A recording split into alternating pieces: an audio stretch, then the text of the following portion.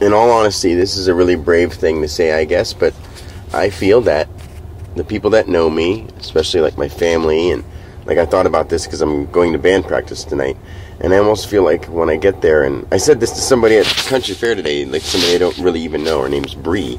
You know, I met her, I got her name the other day, and we just talk, and it's not like I'm talking like a relationship or uh, interest thing like that at all. Which she's just literally a girl I just know. She's like 15 years younger than me anyway. It's not like in age doesn't matter, like that. And it's not even that interest. It's just a friend at all. Period. Nothing like that. I just wanted to clarify. Anyway, um, I I feel like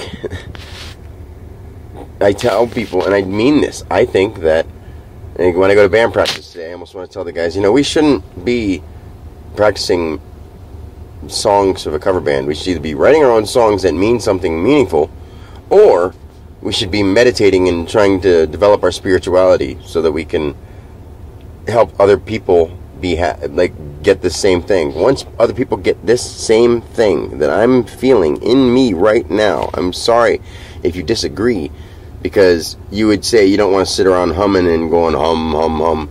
But when you feel this good about something, maybe you would. Because honestly, I never thought I'd drive around humming. But you know, or, or you know what I'm saying? I did not drive around humming or sit around doing that. But the day that that whole experience happened, that whole day, I wasn't just doing it to be a schmuck.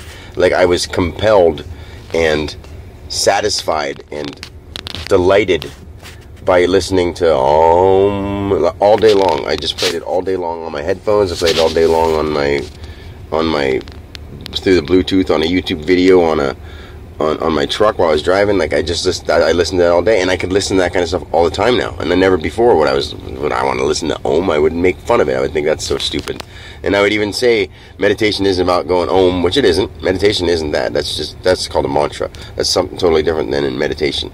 Meditating is is not what meditating is made up to be, and I can explain that if people ever really want to know what it was. And I'll do videos like that later. But right now, I think the more important topic is the spiritual experience that I had.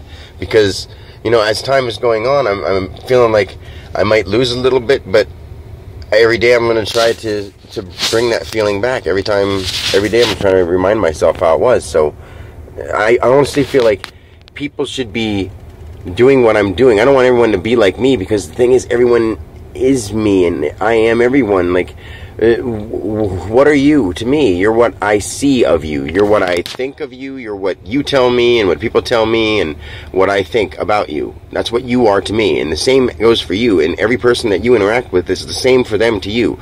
So people are, you are them and they are you. Because by what they are to you is what you make them in your mind and what you think they are. If that makes any sense. Yeah, there's people that might just run up to you and attack you, but not too often. And when that happens, there's something that'll probably let you know. You know, you got to watch out these days, but deep down, if we connected on this level that I'm at and accepted everything and started from there, acceptance, and started just talking, and instead of avoiding and labeling and ridiculing and, and turning against and stuff like that, things would be fine. If, if people were doing what I'm doing, people would be happy. The, the I can save the world with what I'm doing, with what happened. And if I can teach people how to get to there, I mean, I'm going to take for a little time from filming and recording and talking because I really need to develop this. I need to figure out what it is because this is so important. I can't let it go. And if, it, if I could just let it go, I wouldn't want to sound like a schmuck. I want to get my music out. I mean, I still want to work on my music because I'm a human. I want to do my thing. I have my dreams and my goals, but now my dreams and goals have just changed a lot. And that's not something I ever planned on being a spiritual teacher or a you know, who plans that? No, if you know me, this isn't stuff that I that I thought would happen. So, anyway, I love you. I'm gonna try to get to sleep because I need to sleep. And lately, I haven't been able to sleep because I've been too excited trying to connect with the God. How weird does that sound?